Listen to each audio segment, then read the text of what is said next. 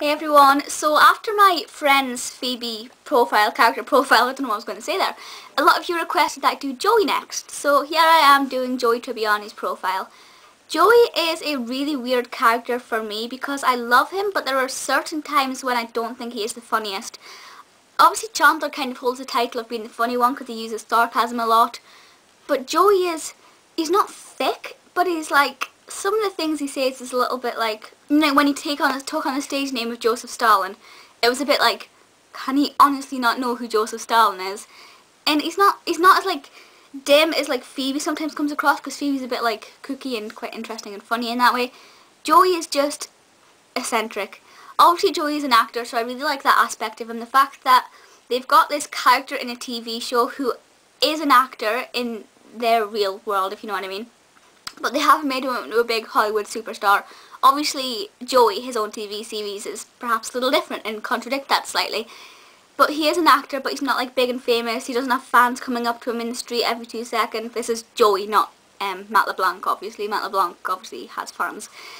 And I just think it's really, really nice. Of course, you do have that storyline where Joey had a fan who put eyelashes in an envelope and put it in the building, and she was crazy, and she didn't know the difference between Joey and Dr. Drake Ramoray, and that was just like really annoying.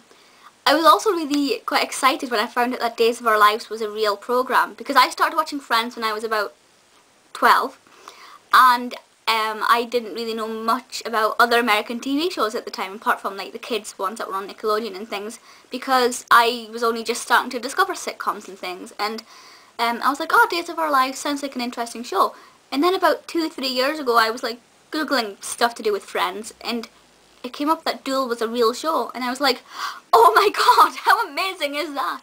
So I also like the fact that they've incorporated Joey's career with a real TV show, which for those of you who would have been familiar with the show during watching Friends, would have been a nice little feel to it. Um, I don't know if Joey was ever actually on Days of Our Lives, the real one, as like a guest appearance or whatever, because I can't find out that information. But if you know, let me know. Um, I don't really have a favourite Joey storyline. I definitely prefer the latter ones to the first few because not that I didn't like his style but he was just he didn't look like Joey when they used to wear jeans and his hair was all like gelled and it was just it just wasn't Joey to me. Joey to me is the latter seasons and that is how I will always remember Joey. One of my favourite ones is where he gets his head stuck. Oh, for the life of me, I cannot remember the name of the episode, but it's the Thanksgiving one where Chandler makes cranberry sauce. And, um, you know, Rachel and Phoebe go to a, a pageant and Joey and Ross go to the game and they come back and the door's locked and he gets his head wedged in the door. I love that one. Obviously Joey has a lot of relationships. I'm trying to think of certain ones which I thought were memorable. Janine, I didn't really like Janine. She got on my nerves a lot. Other than that, there isn't really any which really scream at me and stick out. There was the whole Joey Rachel thing, and that was never gonna work. Yes, it was nice for a while. It was nice and sweet, and it was sort of like, yeah, it, it, it's nice just now.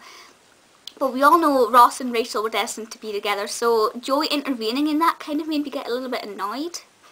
I also liked the one with the jellyfish, where Joey was going on about how he was supposed to pee on um, Monica and things, so that was kind of interesting. But I don't really, like that's what I'm saying, I don't remember much funny things that Joey says, it's more the things he does, or the things he doesn't say, or he doesn't, the things he doesn't understand. Whereas characters like Chandler and Phoebe have funny lines and funny quotes and funny songs and Joey's just funny in general. I can't really think of anything specific that makes me laugh that he says. Obviously he loves pizza, and um, he loves jam.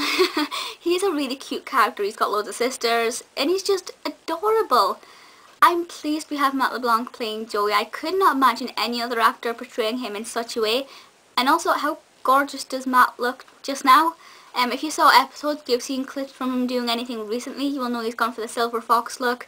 Um, and yeah, he's definitely, definitely kept up his appearance since Friends, even though it's been nearly seven years. Seven years already, I just, it, it just doesn't feel like it. I mean, I actually started watching Friends the year it finished, so that's kind of sad, and it's also hard to believe that I've only been watching Friends for seven years, and I've only been aware of Joey Tribbiani for seven years. It's, it feels like it's been part of my life forever. But yeah, I do love Joey so, so much. He is not, like I said, the funniest character for me, but I do find him interesting. Sorry, yawning again. Um, yeah, so please feel free to leave your comments about Joey. Leave me, um, let me know your favourite storylines as well of Joey. Like I said, I, I really like the um, ones where he became a teacher. Um, I really like that one as well. And the one where he did the cooking class with Monica. There are so many of them. There's like 200 odd episodes. that, you know, I couldn't possibly mention them all. Um, but yeah, so please feel free to leave your favourite Joey quotes and stories and anything like that. And also let me know which story you want me to do next.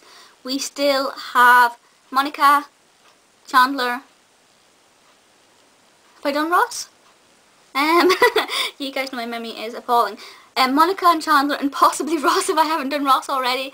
I'll double check, but you guys will know if you've been watching them because um, you guys seem to know more about what I do than I do, which is pretty appalling on my half. But yeah, so please feel free to leave comments, requests, etc. And I'll see you all next time. Bye!